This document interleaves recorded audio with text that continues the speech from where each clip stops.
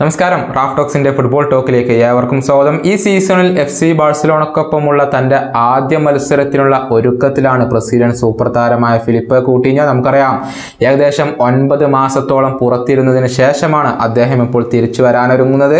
പരിക്കായിരുന്നു കൂട്ടിഞ്ഞയെ വരച്ചിരുന്നത്. ഈ വരുന്ന ഗറ്റാഫക്കെതിരായ മത്സരത്തിൽ താരം കളിക്കളത്തിലേക്ക് ഇറങ്ങുമെന്നാണ് പ്രതീക്ഷിക്കപ്പെടുന്നത്. നമുക്കറിയാം ഈ ഒരു ട്രാൻസ്ഫർ ജാലകത്തിൽ ഫിലിപ്പെ കൂട്ടിഞ്ഞയെ വിൽക്കാൻ എഫ് സി ബാഴ്സലോണ ശ്രമിച്ചിരുന്നുവെങ്കിലും അതിന് സാധ്യമായിരുന്നില്ല.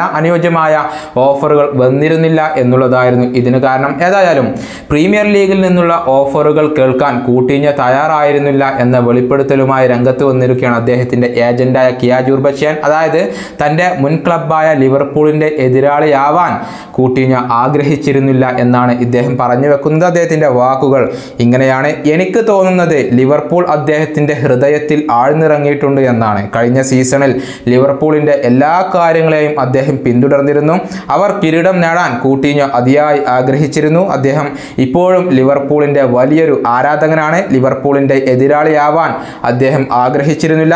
അത് അദ്ദേഹത്തിന് ബുദ്ധിമുട്ടുള്ള ഒരു കാര്യമായിരുന്നു. ഇതാണ് കൂട്ടിഞ്ഞയുടെ ഏജന്റ് പറഞ്ഞിട്ടുള്ളത്. ഏതായാലും കൂട്ടിഞ്ഞോയെ നിലനിർത്താൻ തന്നെയാണ് എഫ് സി ബാഴ്സലോണയുടെ പരിശീലകനായ റൊണാൾഡോ കുമാൻ തീരുമാനിച്ചിട്ടുള്ളത്. ഈ സീസണിലെങ്കിലും ഫിലിപ്പെ കൂട്ടിഞ്ഞോ തന്റെ ഫോം വീണ്ടെടുക്കുമെന്നുള്ള പ്രതീക്ഷയിലാണ് ആരാധകർ ഈ വീഡിയോ അവസാനിപ്പിക്കുന്നു മറ്റു വീഡിയോ വീണ്ടും കാണാം.